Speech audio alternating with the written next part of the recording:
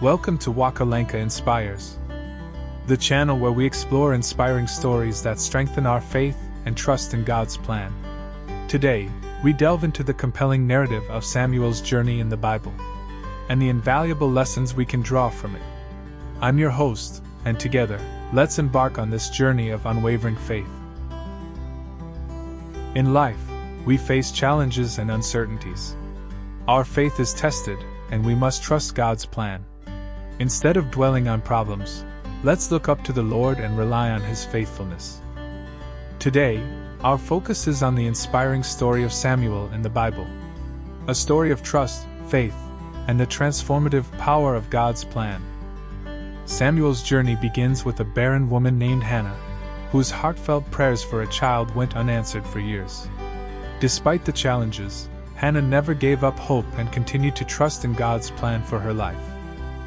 God heard Hannah's prayers and blessed her with Samuel, who grew up in the service of Eli, the high priest at the time. As a young boy, Samuel had a profound encounter with God.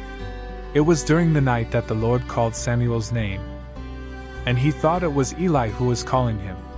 However, after three instances, Eli realized that it was, in fact, God calling Samuel he instructed Samuel to respond Speak, for your servant is listening.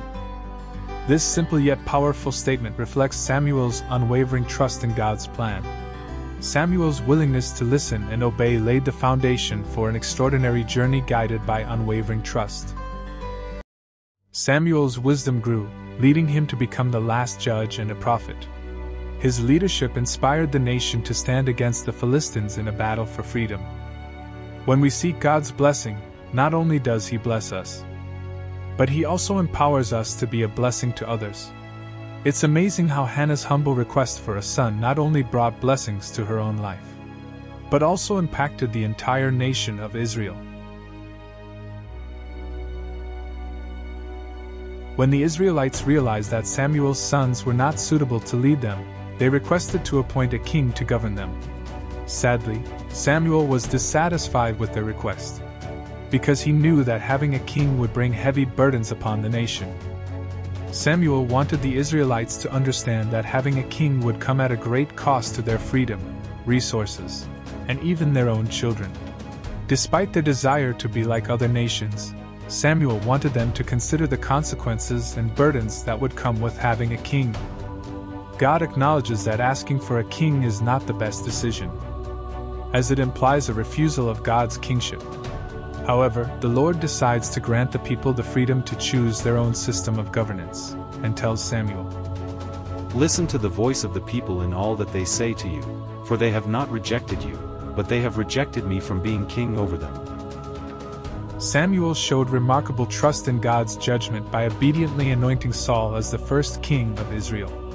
Despite the challenges that arose from this decision, Samuel remained faithful and continued to serve both God and the people. As Samuel grew older, he faced numerous challenges and difficult circumstances. Yet, throughout his life, he continued to believe in God's guidance and trust in his plan. When adversity struck, Samuel sought solace in prayer and sought the Lord's wisdom. His example teaches us the importance of turning to God during our darkest moments and relying on His strength to lead us forward. In his last days, he urged the people to turn away from idols and devote themselves to the one and only true God. He cautioned them that if they and their king Saul went against God's commands, they would face the consequences. Unfortunately, during a battle with the Amalekites, Saul chose not to follow God's instructions fully. Despite Samuel's clear directive to destroy everything, Saul spared the evil king's livestock. This decision angered God and became the reason for him to choose a different king, rather than Saul. Since Saul chose not to follow God's guidance, Samuel could no longer provide him with divine wisdom. This saddened Samuel as he pondered the missed potential in Saul's life had he embraced God's plan. Uncertain of what lay ahead, Samuel eagerly awaited God's next plan for Saul. The Lord said to Samuel, How long will you grieve over Saul, since I have rejected him from being king over Israel?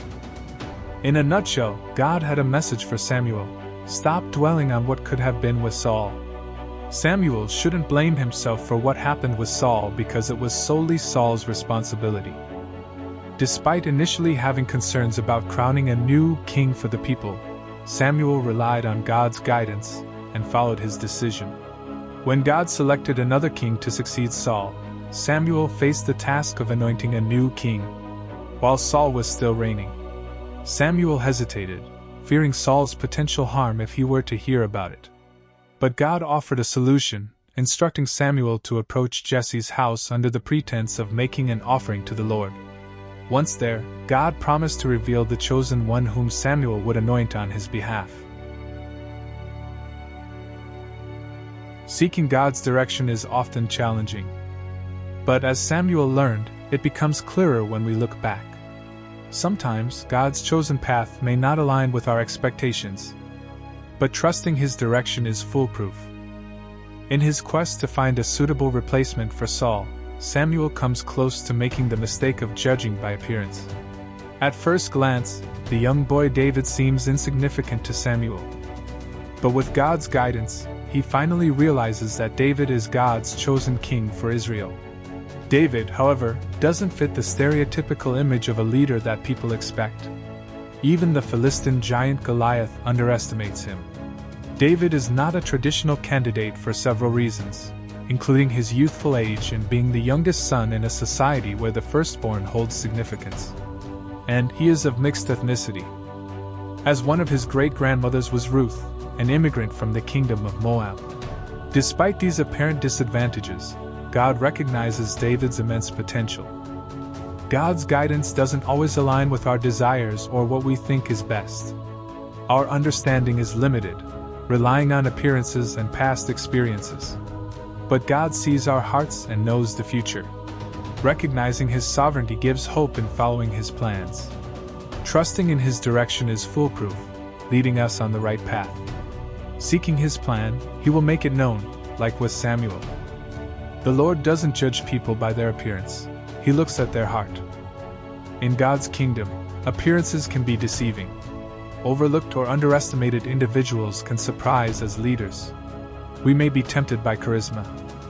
But God values a person's heart over all else. The story of Samuel and Hannah offers valuable lessons on trusting God's plan. Even when prayers seem unanswered, our faith provides strength to navigate challenges. Samuel's example urges us to seek God's guidance and surrender to His will. In conclusion, the story of Samuel and Hannah in the Bible is a compelling narrative that showcases the power of trust in God's plan. As we encounter difficulties, let us remember to trust in the Lord, seek His guidance, and experience the transformative power of faith. Thank you for joining us on this faithful journey. May your trust in God's plan be unwavering, just like Samuel's and Hannah's. Remember to like, share, and subscribe for more inspiring stories. Until next time, take care and stay faithful.